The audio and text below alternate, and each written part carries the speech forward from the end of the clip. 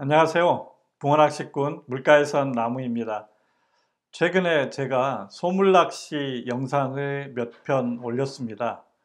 그랬더니 영상을 보시고 한번 따라해 보고 싶은데 소물채비를 어디서 구입해야 되느냐고 묻는 분들이 예, 제법 있었습니다.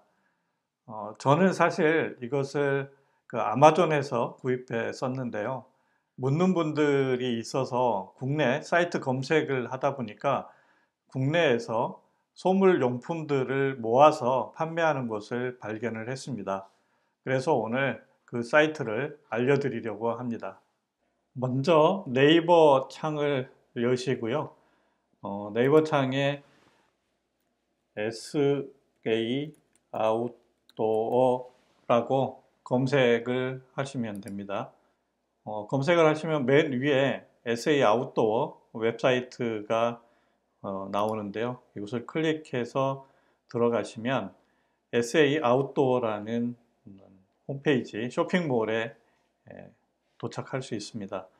이곳에서는 주로 보니까 소물 낚시용 채비들을 하고 음, 또 소물 루어 채비들을 동시에 판매를 하고 있습니다. 그래서 어, 전체 상품 보기로 보셔도 어, 전체 상품들이 많지 않아서 보실 수 있는데 좀 편하게 보기 위해서는 오른쪽 상단에 검색창에 소물 낚시라고 검색을 해 보시면 어, 소물 낚시들만 이 쇼핑몰 안에서도 어, 찾아서 보실 수가 있습니다.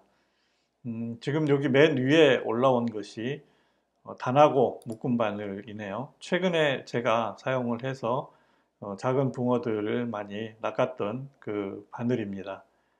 어, 빙어 바늘도 이와 같은 형태로 생겼죠. 그래서 어, 어, 우리말로 하면 납자루입니다. 그래서 납자루를 낚을 수 있을 정도의 매우 작은 바늘인데 혹시라도 이것을 알바늘을 구입을 하시면 이 묶을 방법이 없습니다. 그래서 이렇게 묶여 있는 바늘을 구매해서 사용하시면 됩니다.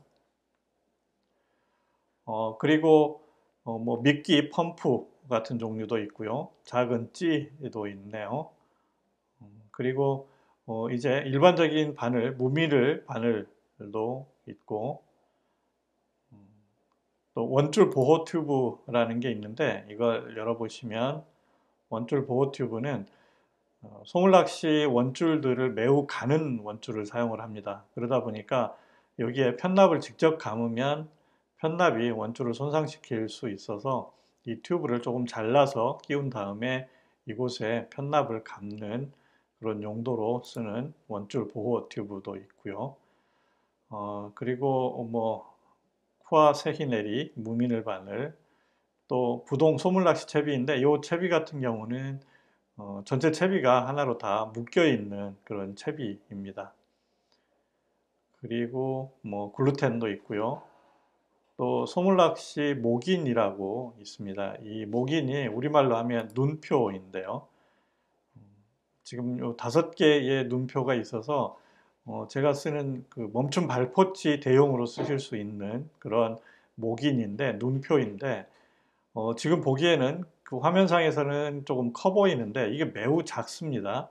그래서 이것은 말 그대로 어 한 90cm 정도 되는 짧은 낚싯대로 납자로 낚시할 때 쓸 정도로 작은 목인이라는 점을 알고 구매를 하셔야 됩니다.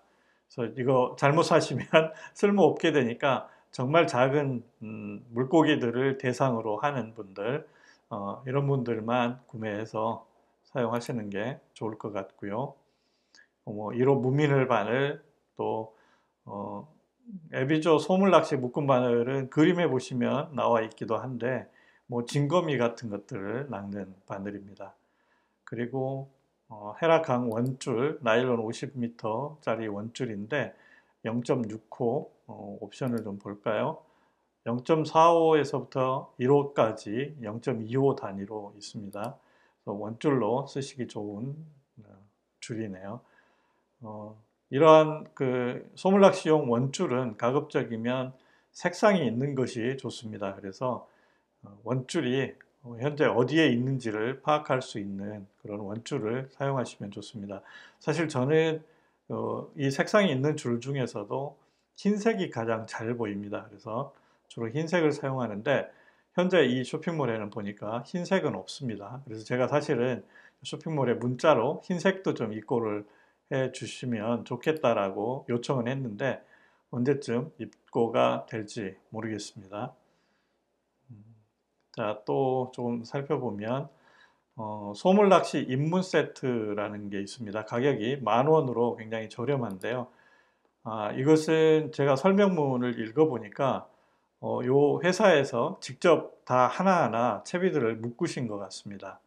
어, 낚싯대는 한 1.5칸 정도 되는 짧은 낚싯대에 어, 한 세트로 다 이렇게 만들어 놔서 이 낚싯대만 가지면 바로 낚시를 할 수 있게 되어 있는데 낚싯대 포함해서 가격이 만 원이면 굉장히 저렴한 예, 가격인 것 같습니다. 그래서 한번 해보시겠다라고 생각이 되시는 분들은 어, 굉장히 저렴하게 요 세트로 한번 시작해 보시고 하다가 뭐 취향이 안 맞으면 어, 하지 않고 그다음에 취향이 맞으면 지속해서 이제 소품 세트들을 구매해서 직접 채비를 만드는 형태로 하시는 것도 어, 괜찮지 않을까 생각됩니다. 그리고 거의 뭐 필수 소품이라고 할 수 있는 원링 하리스라는 게 여기 있는데요.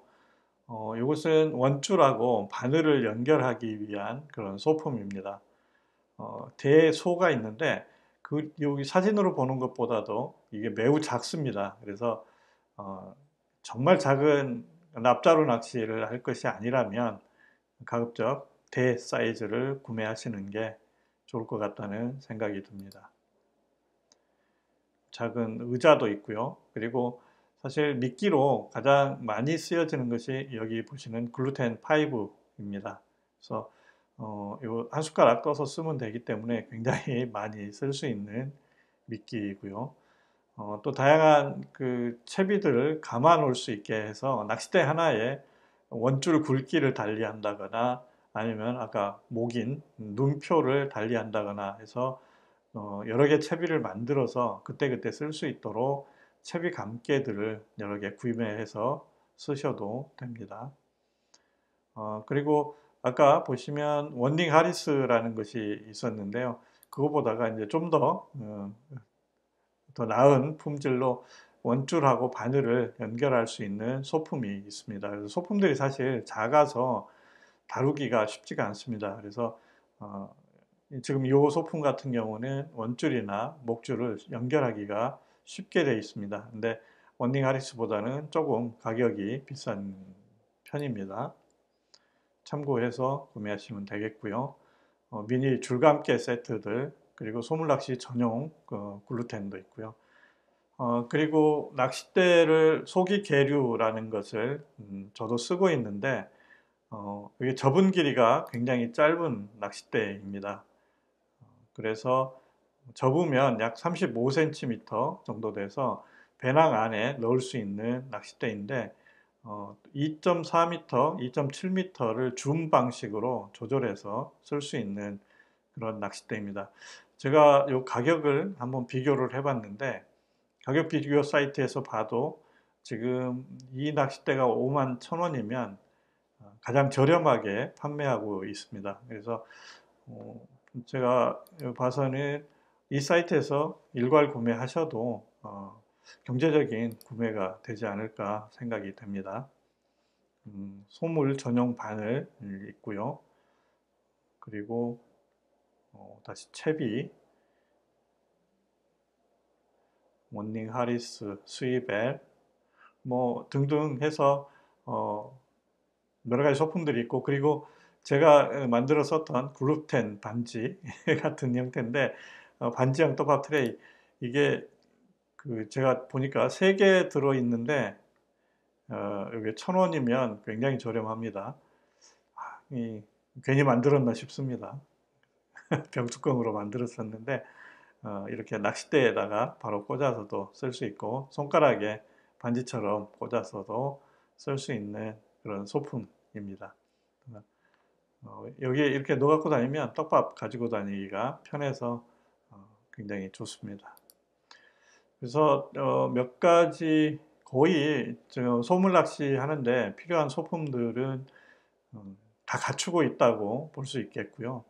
그리고 조금 더 있었으면 좋겠다 싶은 것들은 음, 저도 지속적으로 좀 이 사이트에 요구를 해서 사실 소물채비용 소품들이 가격도 얼마 안 되는데 배송비를 부담하게 되면 오히려 더 배보다 배꼽이 커지기 때문에 한 몰에서 원스톱으로 쇼핑할 수 있으면 어, 좋을 것 같습니다. 그래서 어, 이 사이트에다가도 저도 지속적으로 좀 건의를 해서 소물낚시에 필요한 소품들이 좀 다 갖춰질 수 있도록 그렇게 한번 해보겠습니다.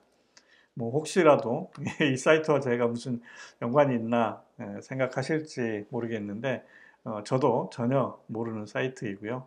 구독자분께서 어디서 구매하냐고 물어서 찾다 보니까 찾게 된 사이트입니다. 그래서 알고 계시면 좋은 정보가 될 것 같아서 오늘 공유하려고 설명을 드렸습니다. 소물낚시를 처음 시작해 보려는 분들을 위해서 소품 음, 또는 채비를 구매할 수 있는 사이트를 소개해 드렸습니다.